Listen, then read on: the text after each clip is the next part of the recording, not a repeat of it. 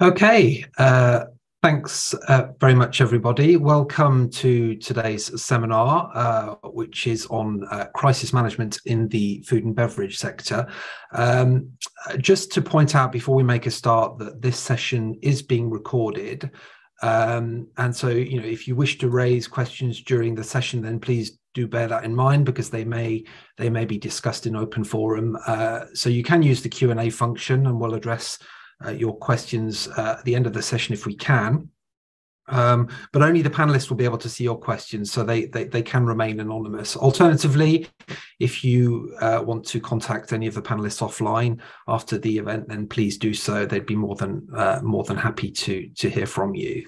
Um, so just before we make a start, uh, we asked uh, you a question um, uh, as you came in about whether your organisation, in your view, is well prepared to manage manage a crisis situation, and you can see the diversity of opinion there. So 59% say yes, uh, and 41% uh, are saying no. So that's that's quite interesting, really. Um, um, and and and hopefully, therefore, this uh, session will be, pardon the pun, food for thought uh, for, for for many of you.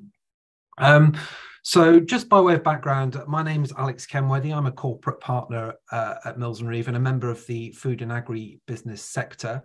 Um, as many of you will know, uh, the food and agribusiness sector is a key sector for, for Mills and Reeve, and we act for clients right across the sector from farm to fork. Um, one of our panelists today, uh, Jess Burt, as some of you will know, is a, is a regular blogger and vlogger, uh, with, together with her co-star Bella, the, the, the, King Charles Cavalier Spaniel. You may you may have seen her, but uh, uh, she she blogs on on a variety of sector issues, uh, and crisis management is one which always generates considerable amount of interest. And so that was the uh, that was the um, the prompt for today's session. It's topical and it's an important subject. Um, so we put together a, a panel of experts um, to look at the subject of crisis management from a wide variety of angles.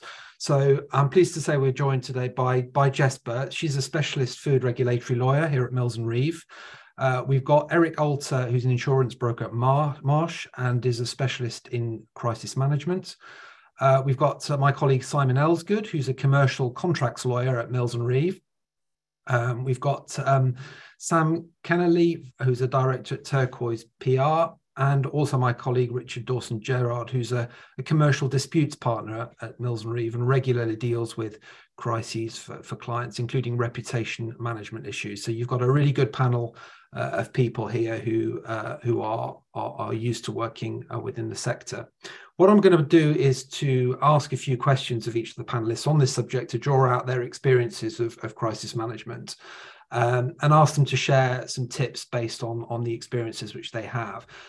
I think it's worth saying before we start that a crisis can take a variety of forms. Um, and whilst we're looking here at more operational crises in the food and beverage sector, such as food contamination, for example, or crises due to external factors. So it could be supply chain contamination or, or, or, or reputational issues caused by the actions of a third party.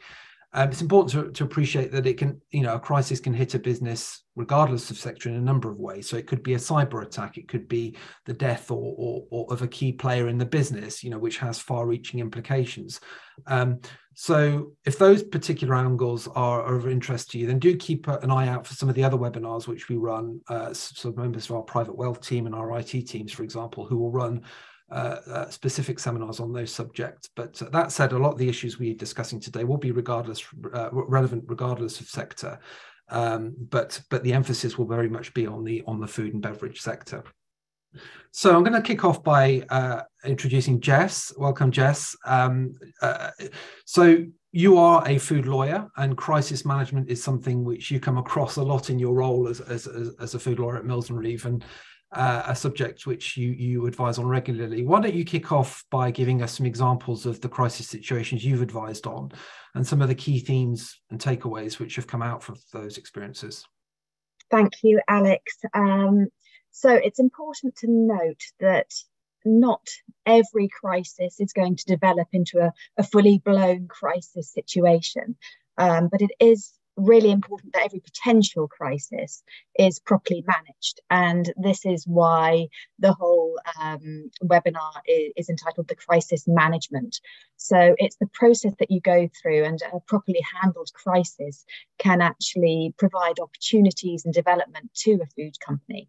Um, the main aspects of managing the crisis, the first one and the most important one that I'm going to be dealing with, is actually identifying um, the crisis situation, what the issue is, um, before you would then sort of seek to escalate that to a management plan and the investigation of that assessment, the risk assessment of it, um, and the decision making that goes behind it. It's very important to sort of work out exactly what has happened uh, and what requirements, if any, have been breached, whether there is a um, a requirement to withdraw or recall under legislation, or whether uh, it's necessary as a commercial withdrawal for the company, or whether this is a breach of contract, exactly what has happened, where within uh, your business to see what your legal obligations are, and then move from that to decide what your commercial obligations are. And as Alex mentioned, um, I am a, a, food regulatory and food product liability specialist. So, in relation to the food sector specifically, uh, the identification of where there may be a problem, the key issue, the priority for all food businesses has to be food safety. Um, so that is the absolute keystone that your first priority should be always uh, in trying to sort of identify where there may be an issue, the first point we're looking at would be if there's a breach of food safety requirements. Um, this is all set out in, in Regulation 178 2002. And it has two spheres to it. It has um, whether the, the food has become unfit for human consumption, um, and uh, also whether it's injurious to health. So the safety aspect here also encompasses quality and the idea of fitness. Um, and that is governed really by the sort of normal conditions for use and the labeling. So, um, you know, a, a, raw chicken isn't necessarily unsafe. You've got to have your instructions and the normal conditions for use underlying it. Um, in relation to looking at what might be injurious um, to health. You have aspects such as short term. So the key example for that would be allergens, um, you know, a short term health impact for you. Uh, there's also issues such as choking. You have the situation there might be a contamination with, uh, for example, small plastic pieces that would become an immediate short term choking hazard and you look at the size of the contamination in, in those parts as well. There's also encompassed long term, and this is where you get these um, chemical contaminations uh, such as genotoxic carcinogens. We saw that with the para-red Sudan 1 issue. Uh, we've seen it most recently with the ethylene oxide um, where there are small amounts of contamination within your supply chain and um, because that is a genotoxic carcinogen, it's how you develop your risk assessment process, how you decide what to do as a result of that. Um, the other sphere of this would be unfit for human consumption. And this encompasses, uh, I get lots of questions asking, so, so, you know, what is unfit? And it encompasses the concept of acceptability. So this really has to be looked at on very much a case by case basis, on the food type, on the consumer aspect as well. What sort of um, sector of consumers are, are um, eating the food or consuming the beverage? And it would, we'd look at sort of quality, colour, taste, so this would be perhaps where there is a taint, a uh, particular reaction, perhaps a cloudiness to the product. Um, and an aspect of that is how far along does that go until it becomes um, not acceptable to the consumer. So there's a whole variety of aspects that go into that, and it needs to be sort of individually looked at as to whether or not it will breach that quality side. Um, and separate but overlapping would be on the sort of regulatory breach. Now, there's a sort of rebuttable presumptions under food safety requirements that if you comply with all the uh, legislative requirements, then it's uh, the product would be deemed safe. But that's rebuttable. Um, and equally, if you do conform with all the legal requirements, then that doesn't prevent action. So um, you really do need to look at the regulatory side as well. Examples of regulatory breach that wouldn't necessarily breach food safety requirements would be potentially on the labelling side, where you've got reserved descriptions, legally defined names. Um, so the average consumer in the street, the average man on the Clapham omnibus, is not going to know the ins and outs of uh, the requirements for uh, chocolate. Uh, if you are a couple of percentages out of that, that's not going to make it sort of unacceptable to them. However, uh, it is going to be a technical breach of the um, requirements. And that is where you come through to, you know, more the contractual, more the commercial risk to the business. Um, and we've seen a number of other things that can affect uh, foodstuffs. You've got the political activist risk. We saw um, Gourmet Burger Kitchen with their um, advertising uh, in veganuary saying uh, sort of promoting their burgers and they thought they could take on some vegetarians and vegans but in fact oh, it, it actually consolidated the activist move against them uh, there's also positive labelling claims that can escalate into a crisis. The most well known of these, immortalised in um, the Only Fools and Horses, the Del Boy, would be the Dasani purified water, where uh, tap water was filtered and it was all legally compliant. However, um, what hadn't been taken into account was the making of positive labelling claims on this and just how that would come across.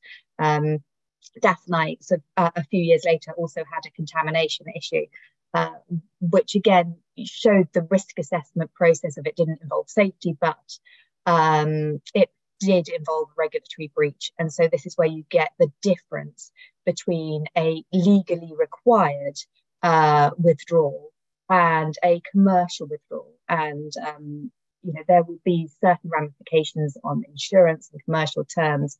So it's really important to sort of assess where you fall within that. Um, in relation to the management plan of this. So, first of all, you have the identification, then you have to have your process of escalation. So, this might involve complaints handlers watching out for trends and spikes in certain complaints. It might involve your testing side, where if you have a spike um, or an elevation of certain amounts, and actually also the decision making of what you test for sometimes within food businesses, it's very important to have that overriding view, that horizon scanning as to what you test for. And obviously being sort of, you know, careful what you want to know about as well, because you can test down to the nth degree. And it's sort of what you actually do when you have that information. Um, what you actually do when you have that information is generally fill it into a risk assessment process. It'll be a case by case basis, looking at your food stuff, before a crisis happens, this is where the review and the uh, having a plan is so important because it's very hard to manage when you're in the eye of the storm. But ahead of time, if you actually review your processes, if you have practice runs, then it can feed into a risk assessment process. You can get to know your food stuff, who the consumers are. If there's a vulnerable section of the community that your foodstuff is um, aimed at, then that would feed into any risk assessment process to know where your batches are, to know your supply chain, to see what historic consumptions levels are at each part of the year because for example sort of you know as you become aware of an issue it might well be that this is a historic consumption which has actually already fed through the supply chain. And the legal requirement for recall is only where sort of that actually has a beneficial health effect. So if you don't have any beneficial health effect from doing a recall the legal necessity to do one falls away.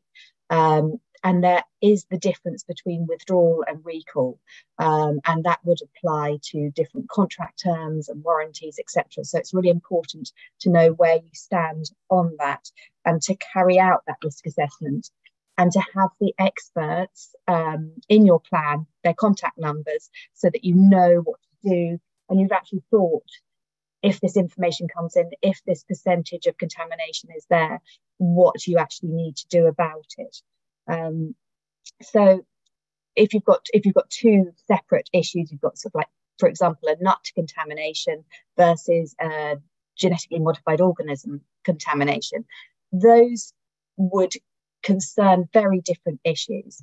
The first one, if you become aware of a nut contamination, you first of all need to sort of, you know, find out the levels, find out the batches affected, know your labelling. Do you have precautionary labelling in place? Do you have any positive free from labelling in place, in which case you'll draw in vulnerable consumers and your uh, legal requirements will be that much more onerous on you. Um, and so whereabouts in the supply chain it is also you, will be allowed some time to investigate where in the supply chain is your product. If it hasn't left your immediate control it can be ring fenced immediately within your warehouses um, and that way none of the legal obligations of notification withdrawal recall will kick in. In relation again to gmos that safety aspect should fall away depending on if there is um, if there's proper traceability there and you know what, what you are actually getting. Um, and again, then it concerns the labeling, the level, the testing amounts, and if you have any sort of free from positive claims in place. Um, because of this being sort of adventitious contamination, it would be the sort of the labeling side of things would, would slightly differ. And uh, without the safety aspect, you would only need to withdraw depending on sort of contract terms and what your actual labeling is. So in short, as I've really got a canter through, it's hmm. really important to know your legal obligations, know your requirements, and know your product and practice it. So um, I'll pass over to Alex there. Yeah, no, thank that. That's given us a really good uh, insight to, to kick off with. So, so lots of examples there of, of, of the kind of issues that can arise. Um, Eric, uh, over to you. So, from let, let, let's take the worst case scenario. So from from an insurance perspective, then what would you suggest that you know a business facing a crisis should do from an insurance perspective once it becomes aware of an issue? You know talk us through the steps you know and the thought processes from your perspective. Okay so from from our perspective to start with um, insurance is the response of last resort because in a situation like that insurance will provide a degree of cover but when you look at the total cost of risk model so what are the costs that are not covered by a policy you're still on the hook for those um, making assumptions is a dangerous thing to do. Um, so when something goes wrong, don't assume you know what is going wrong. You know, is it accidental? Is it intentional? Is it activism? Is it cyber related? And the cyber one you raised, Alex, is an interesting one because what if an organization is effectively mucking around with your processes with the sole intention of causing damage and then makes claims for money as a result of that? Um, the first thing you do when something like this happens is make contact with your insurer. Now, it really does come down to contract. So, what is covered under contract? Where does the liability lie?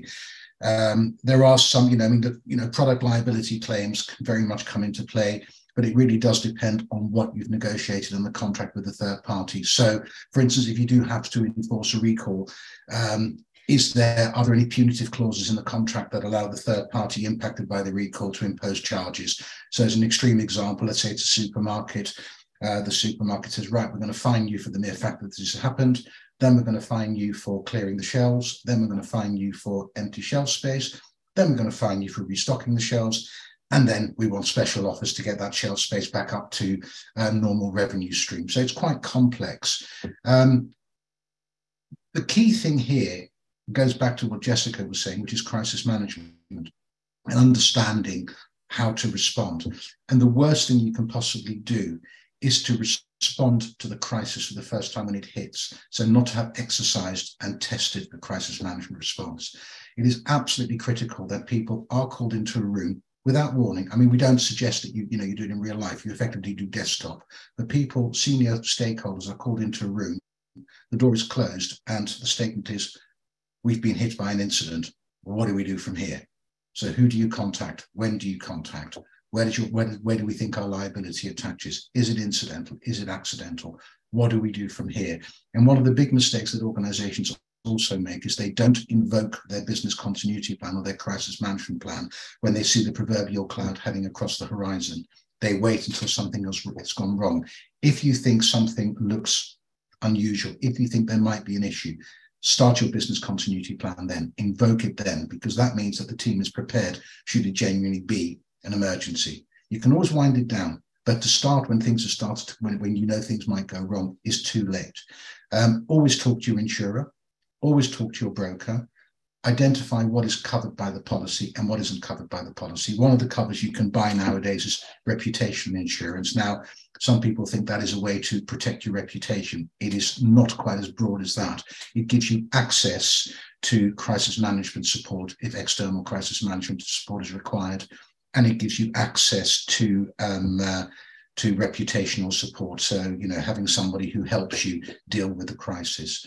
The other thing that is clear, and I hope I'm not stealing anyone's thunder here, is that you have a clear voice of the organization, the face and the voice of the organization who represents the business to the outside world. Make sure that that individual is able to answer questions and deal with it. You may have a very effective chief executive officer who, when he gets in front of a camera or into the press, melts into nothingness. You could have someone who is specifically focused on dealing with answering questions and dealing with the press and dealing with the supply chain. The other thing that you need to do from an insurability perspective is identify where the issue has come from. So is it within the entity? Is it a third party supplier? Is it the supplier of the supplier? Now, not food industry related, but if we go back about six, seven years, Toyota had a big recall on a component that could cause brake failure or the reputational damage attached to Toyota. It was an OEM product that was a supplier to a supplier to a supplier that caused the failure. Now, the client doesn't care. I bought that item from Toyota. It has failed. It is their fault. And it's exactly the same within the food industry. The, the, the client, the, the user, the consumer doesn't care where the item comes from. It's the label they've purchased that is causing them concern. So when you look at contract, also see how you can effectively spread the insurance. So, is there an ability for subrogation? And what I mean by that, a claim is made against an entity the entity's policy responds and pays out. But when it turns out that the blame for the issue actually lies outside of the affected entity, is there an ability for the insurer who is paid out to subrogate the claim, to make a claim against the third party supplier, to provide some remedy for them to get some money back? But this, this is a really interesting area because insurance can only do so much. And like I said earlier, it is based on the way the contract is structured. The key thing is to understand what has happened, not to panic. Critical that you don't panic and critical that you manage the messaging within the entity and critical that you make it very, very clear that nobody within the entity is able to make any external comment. Nobody is allowed to put anything on Facebook, on WhatsApp, on email, on TikTok, on Instagram, whatever it is, because they could effectively prejudice the policy and they could potentially prejudice the business. Um, communication with key stakeholders is essential, but you do not have to share any more than you are comfortable sharing. Because if you share too much and you've actually got the information wrong, you've then got to backpedal, and that makes you look fairly incompetent. So share what you have to share, but always, always engage with insurers, always, always engage with brokers, always, always engage with the third parties that an insurer has pre-cleared for you to deal with. So obviously you are, um, you know, at, at, at Mills and Reeve, you're in a number of insurer panels. Um, there will be um, uh, a, a, lot of uh, reputational risk organizations or communications organizations who are on those insurer panels. Make use of them. They're pre-cleared. They should know about your business to a certain degree, and they're in a really, really strong position to assist. But just to go back to the original point, practice, practice, practice, and make sure that you've decided who is in charge of the incident. It doesn't necessarily have to be the CEO or the CFO or the COO. It can be somebody who is specifically identified as the person who runs the crisis management plan. And that person must, at that stage, take precedence over anyone else and must, must be allowed to run the plan. Because the moment other directors start to intervene, it will go wrong. And what you're trying to do at this precise moment in time is to minimize the impact to minimize the reputational damage, to minimize the external damage, to minimize the cost. Because remember what I said at the beginning, only so much is covered by an insurance policy. Some really, really good, uh, good tips there. And I think one of the points as well, it just sprung to mind is you know you, you will have turnover of staff. People change roles people change responsibility so again looking at the the need to keep your plan under review and make sure people coming in assuming those roles uh, uh, uh you know have the adequate training. And so it's uh, it's it's it's important again to to keep that that plan under review. Um, you mentioned there um, uh, the, the, contractual situation and and and that's um, that that leads me on nicely to to introduce Simon uh, and and Richard um, who are who are both slightly different ends of the spectrum there. But but Simon is a is a commercial contracts lawyer, so we'll draft and negotiate these contracts on behalf of clients. And, and Richard often advises clients um, when when those contracts have to be looked at uh, carefully in the context of a dispute. So perhaps both of these questions are kind of uh, for, for both of you really. But what what as contracts lawyers or commercial disputes lawyers, what do you see as the common avoidable pitfalls, and what tips do you have for for dealing with the contractual aspects of a crisis. Simon, perhaps if I could start with you mm. first. Yeah, thanks, Alex. Um, so we, yeah, we've already mentioned contracts uh, once, twice uh, in the uh, in this session before. Um, Jess was talking about know your legal obligations, and that includes um, what you're bound to do under your contracts. Um, and Eric mentions the contracts uh, with your customer, who might be a supermarket, and there might be extensive, shall we say, uh, obligations um, under that uh, to uh, basically to, to support the to support the customer. So the important thing in a crisis um, to remember is that there there is a contract usually um, either with your supplier or with your customer. Um, and so it's time to get that contract out of the out, out of the drawer and see what it says, if anything, um, that covers the situation that you're faced with. So things to bear in mind in your contract, clauses to bear in mind in your contract are force majeure clauses. So this is the one where um, neither party has any liability for uh, losses uh, failure to perform for events beyond its reasonable control. Um, the important thing to remember there is that if your contract doesn't have one of those, then there is not one implied. You often see them in contracts, and people think, "Oh, well, you know, surely that's that's all implied," but it's not. Um, so uh, that's um, that's something to bear in mind there. Make sure of those. We've talked a lot about traceability um, uh, this morning, and so usually in food sector contracts there are clauses dealing with traceability, clauses dealing with duties for recalls and and, and withdrawals. And so all of those things may well be in your in your in your contract, and so you need to comply with those. Uh, the another important clause in these situations is liability provisions. Um, if you go into your contract, uh, usually there will be some limits of liability, both for you and, and your counterparty, but nothing in your contract will ever be able to limit your liability for causing death or injury um, by your negligence. Um, the important thing to remember is if you have a contract and there are no li- limitation of liability clauses, then you, limit then liability is unlimited. There is no implied limit to your your um, to your liability.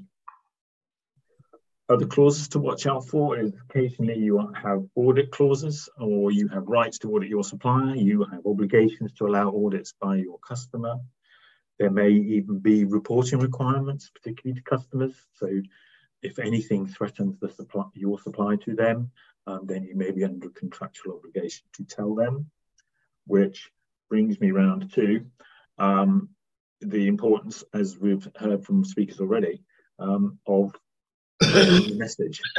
So in your contract, you are looking for clauses such as confidentiality clauses, clauses preventing parties making any announcements, all of those clauses should help you control the message.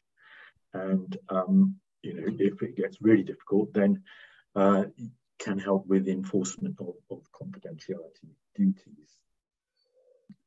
Um, that then usually in the confidentiality clauses though there are exemptions allowing you to discuss the matters with your professional advisors which would include just about everybody on this panel um, so you can still do that uh, without breaching confidential obligations to to third parties so if i may um, before I ask Richard to take over, I'd just say, well, what is what if there's not a contract? What if you go to the drawer and you find out actually you can't find a contract with that supplier or that customer, or um, or your your IT system's down? This has happened to clients of mine recently. IT systems are broken or um, uh, subject to a cyber attack, and so of course they can't find the contracts because the contracts are stored electronically.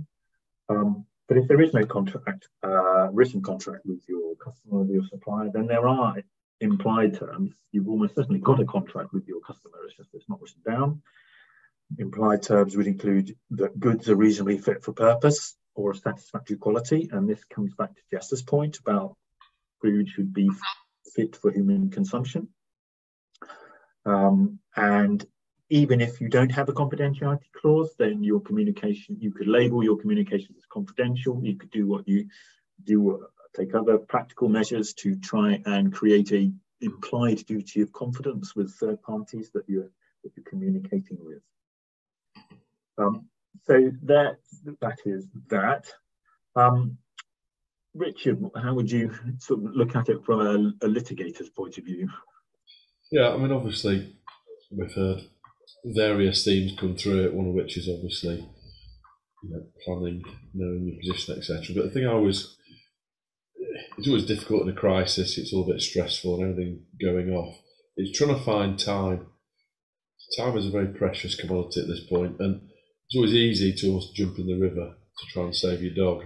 Um, if you can't swim, you've not got a lifesaver on, it's probably not going to help anybody. So, so you take a bit of time back and so as a, as a dispute lawyer, uh, one of the key bits would say is obviously the first thing that I always say to clients is think very carefully about uh, the concept of privilege. It's very boring, but lawyers can add to a process this idea that what you say to us and then what we cause you perhaps to say to third parties, uh, nobody else can see.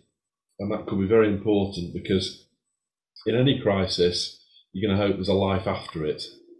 And that may be, and Eric alluded to it before, you know, you may have some financial issues that you might want to be looking around at either getting from somebody or somebody getting from you. Um, so you're looking at the future. So don't create any adverse documents. Don't send an awkward email internally saying, "Oh my God, what a cock up we've made this week." Um, because potentially that is something that somebody is going to see, be it a regulator or in the course of any later litigation. So be very careful about that. And again, that loops back to your plan. You need to make sure you have a plan in place so that immediately roll out and marshal that so everybody knows who's in charge of all that sort of side of it. Um, you also need to very carefully consider that in any of this process, you might have to mitigate your losses or damages. So when all this is going on, you need to try and think how can I minimize the issues or the commercial problems that I'm going to have so that when I do come to make a claim, nobody can say to me that, well, you, you didn't think very carefully here. So half of these issues you're trying to claim off me are your own uh, doing. And that's quite important. And that also fits in with you need to work with all the key players around you, and some of those will be the people up and down on your chain. So even if you think it's somebody else's fault, you will still need to communicate with them. You need some thought how you do that in a manner that doesn't often admit liability, but you will still may need to work with those people because, you know, on a regulatory perspective, you may need data and information from them. So if you sort of look around what what I would what I would say it follows on from everybody really. The key is, you know, get your plan in place so you know what you're going to do. You know where your contracts are. You know who the key players are. You know who you're going to have to talk to. You know, you don't want to be rummaging around in that drawer to find the contract. You don't have to be able to rummage think, who was that insurance fellow that I saw at that conference? And my broker said was quite useful. Make sure you know about it. And I think Eric did say, I think he's dead right. You know, create people who have some control for it. So when you're going to, Sam will come on to talk to us about PR, etc. But you know, do get the right people doing the right jobs. And just because you have the biggest title doesn't mean you are the right person to do some of these jobs because you might not be good at you know being a public face. So, so yeah, that's that's probably my thing from the other end of it. But yes. Great, Thank, thanks, Richard. And and you you mentioned um, uh, Sam, so we'll, we'll we'll we'll bring in Sam uh, here, and, and, Richard, you know, feel free to to chip in because this is kind of relevant to to some of the things you advise on as well. But I'm I'm interested in this concept of you know social media and and this sort of 24 hour news environment that we we live in. Um, Sam, would you say that businesses are, are now more at risk than ever in terms of reputational damage, or you know, does it work the other way as well? So does it provide a forum for an immediate response, for example? I suppose the temptation is there to to to to sort of try and jump on it by by by taking on the the, the people in social media. Um, you know, uh, what, what's your view on that? And and and sort of more generally, you know, what should a a crisis communications plan include? Yeah. Um, thank you. Good morning, everyone. I think if I just take your last question first, and it is really about how you prepare um, the plan and when, I can say glibly yesterday, and there always is a yesterday, but time is of the essence. And that plan really, depending on the structure of the organization, whether you have a board or whether it's part of your corporate governance, and within that risk management framework, it is a, a, a really high level plan that needs to have that buy-in from the very very top. Um, so the best time to do one is when you're not dealing um, with a crisis. It is about having the process and the teams in place. And one of i guess the questions is are you handling this in-house? If you're a big organization you may well have that capability if you don't, does it look like you bring in a resource if you have a crisis? And again, um, a point that Richard just made, it's understanding who those people are that you are going to bring in and making sure that they're across your business and when they may have to slot in.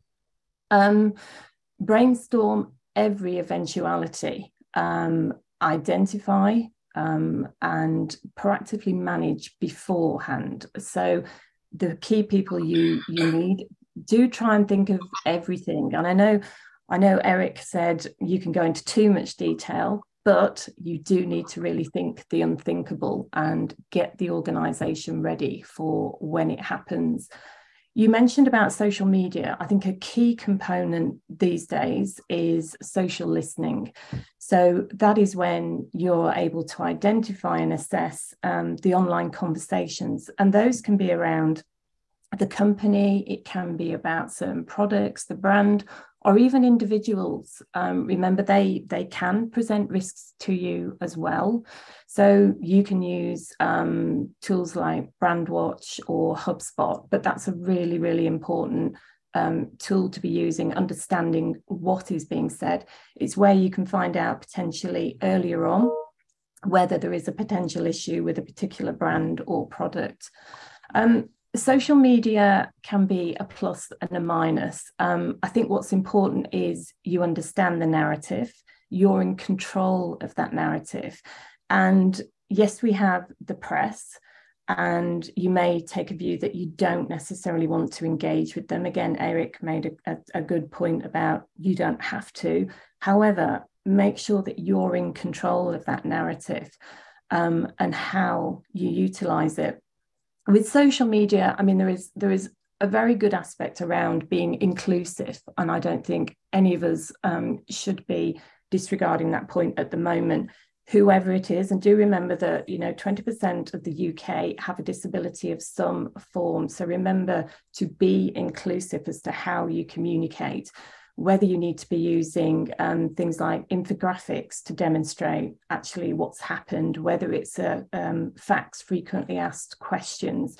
So there are tools that you can use through social media that can be inclusive and um, you know what you need to be saying at the time. Do stick to your facts always.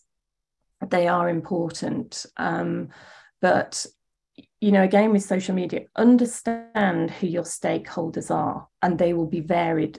They can be between, um, as we've mentioned before, political activist groups. Um, they can be your customers, and whether you're B2C, B2B, um, you know, you could be a supplier to Marks and Spencers. Understand again contractually what you can and can't say. There may be things that you're not allowed to. So understanding is part of that plan as well and the stakeholders what you can and can't be saying. But I think my my key thing is around that that messaging, that narrative being in control as well. I think I'd, I'd, I'd 100% echo that. It's gone through what everything everybody has said. It, it, it can end up a very dear process, this, um, without stating the blindingly obvious. But there is a definite way to make it less fatal and less expensive and that is proactivity and taking control, um, and you know using the media to sometimes your advantage, using it as a mechanism to you know deliver a message, and as, exactly as you say, you know sometimes the press can be irritating uh, in you know their their interference in a crisis where they're potentially trying to get out a picture that isn't actually accurate, but the way to deal with all of that is again giving yourself this time. If you're reacting to an approach from the press or being hassled by a supplier or anything else in this process, it's harder to deal with if, if, if in effect the first time you've thought about it is when you're in the eye of it. You know, and if you've never met Sam before you're in the middle of this crisis, well that's awkward. Or Eric, etc. You, you've got to try and buy yourself that time, and that is planning. And you know, it, it, I, I would echo everything everybody said about that. It is the best way to make sure this goes as well as it can and doesn't end up as a real disaster. Um, Eric, do you, do you want to jump in there? I see you've got your you got a yeah yeah. One of the things that um, I want to raise is do not invalidate your insurance.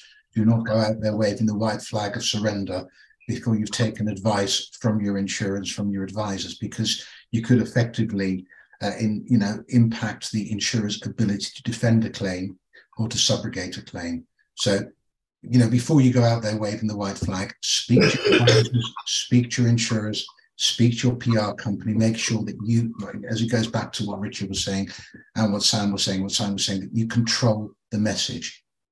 I agree that you have to share some information to the press, and you know the reality is a pathogen has got into the supply chain um, you know, and that that ends up seriously injuring or killing someone or a number of people, and you've just sat on your hands and not said a word, that clearly isn't the right thing to do. But manage what you say to the press. The one thing we always recommend you say is initially we are dealing with an incident.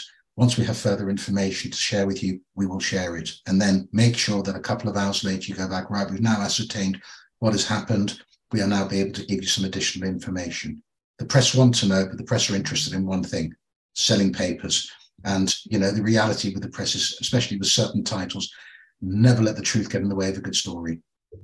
Absolutely. I think can I can I just add, and it's about the the internal comms. So your internal um, people are as important as the external. So make sure that they are, as you mentioned before, Eric, um, what they can and can't do. And that comes back to policies, procedures, that's part of your risk management framework. So make sure that you've got that is in place, that the company has that. Um, but you know, people, they can talk, but it's making sure that there is there is a consequence if they speak. And it's not about whistleblowing, but there is there is a consequence, and people need to very, very clearly understand that. Just one other thing is we talk about food, but remember, we've now got a lot of charities who are involved in food. So whether it's the food bank or FareShare they're really up against it with how they manage that food, how they fridge it, and also around those sell by dates, which very often they're right on the cusp of. So, you know, I think that's going to be quite an emerging area that crisis management is going to be more key for um, part of the charity sector as well. And Sam, I'm quite interested in this in this concept of you know trying to test your plan. Um, uh, and right across the piece we've already talked about you know keeping it up to date and, and, perhaps come on to that again in a minute. But but how would you go about testing a communications plan? That strikes me as something quite difficult to do. I mean you, because by its very nature your comms is externally facing. So how, what would your suggestion be there? Um, it actually goes back to what eric said before. It's that scenario planning so um, we can call it a workshop, but I think, yes, if you call people to a room, you say, okay, here is our oh shit now. They don't need to know actually whether it's live or not. Um, but that is the best way to have that team operating and an understanding um, how the plan is going to work, making sure have you got the right people in the right roles? Are you fully across um, all of your stakeholders, your narrative? Um, and then what's uh, the other point was that enables new people on the team as part of induction, etc. They know their place, their role. And the other thing is that enables you to learn. Um, you can incorporate into future learning. It may change behaviors as to how you take action. And remember, as well as all parts of this plan, the FSA, for example, do not disregard in all of your crisis comms. The SFA are again a very key stakeholder in this and how you will manage them, not disregarding how the lawyers will be involved as well. Um, but yeah, think the unthinkable, do those workshops, um, do them in real time, learn, um, may change behaviors, um, but it's about taking action and what you learn from it.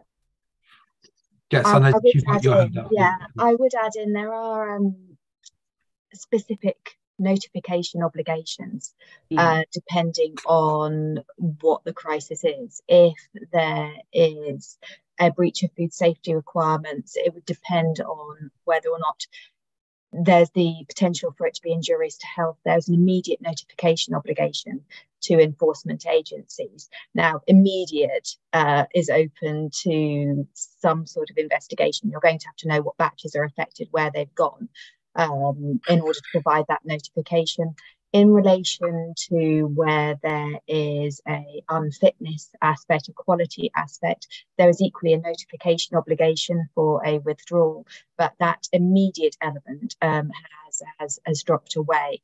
Um, in relation to communications with enforcement agencies, whilst there is the requirement, obviously, to follow um, legislative requirements, I would just caution um, as has been mentioned, there needs to be one point of contact. I would always advise legal advice prior to any contact with an enforcement agency. They're an enforcement agency.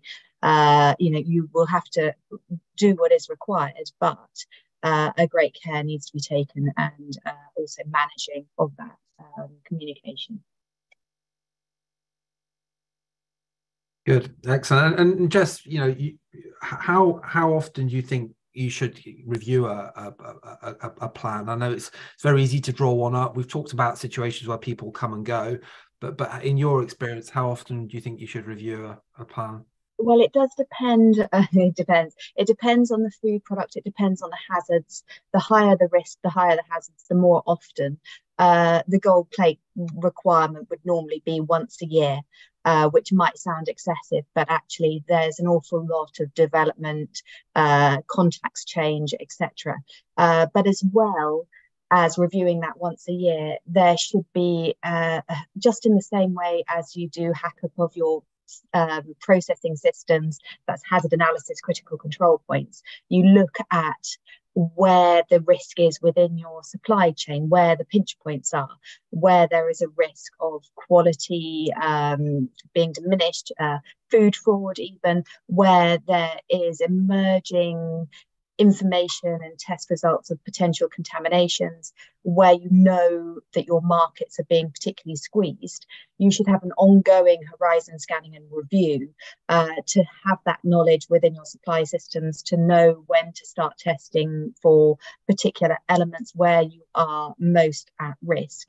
Um, so, one, it's an ongoing basis to be aware, uh, and two, it's uh, the the standard would be once a year to have a check. Don't leave it on the sort of dusty shelf. It doesn't do any good there. You need to actually sort of have it as an active document. Um, and uh, it can be actually really useful as a way of um, checking over how the business is operating, how people are working together.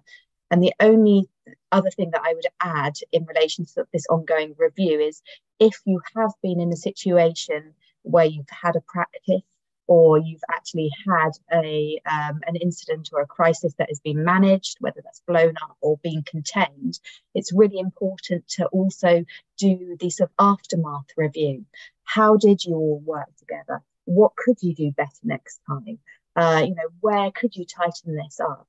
And um, again, before Richard comes in, if you actually have those recommendations, make sure you then implement them.